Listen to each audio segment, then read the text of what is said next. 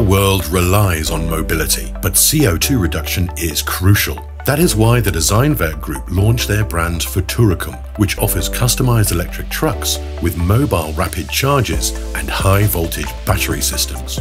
Their mission? Promotes sustainable mobility with outstanding performance.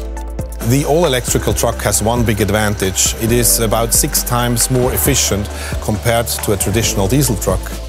Where regular trucks entail frequent maintenance-related downtime and costs, as well as rising fuel prices, CO2 taxes, and unpleasant noise levels, Futuricum trucks benefit people and the environment with rapid acceleration that is barely audible, zero local CO2 emissions, and low operating costs.